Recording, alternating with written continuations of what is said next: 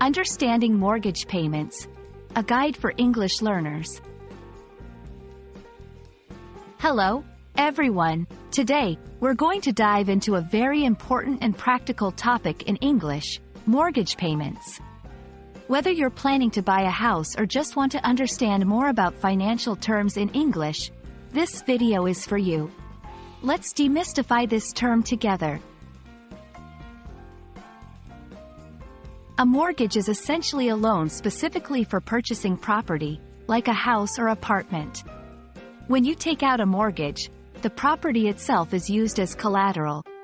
This means if you can't repay the loan, the lender can take ownership of the property. Mortgage payments are monthly payments you make to repay the mortgage. Each payment is divided into two main parts. 1. Principal, this is the part of the payment that goes towards paying off the amount you borrowed. 2.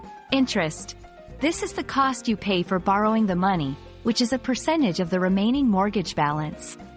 It's important to note that in the early years of a mortgage, a larger portion of your payments goes towards the interest, rather than the principal. Sometimes, mortgage payments include more than just the principal and interest.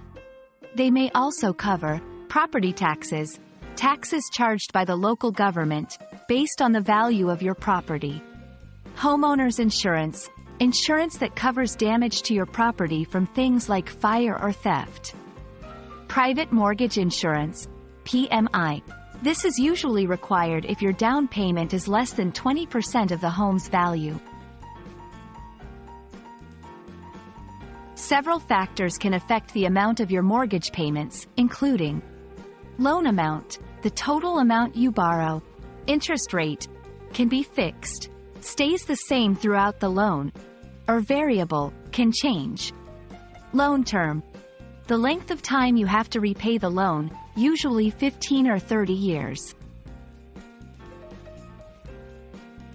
Understanding mortgage payments is a big step in mastering financial English and making informed decisions about property ownership.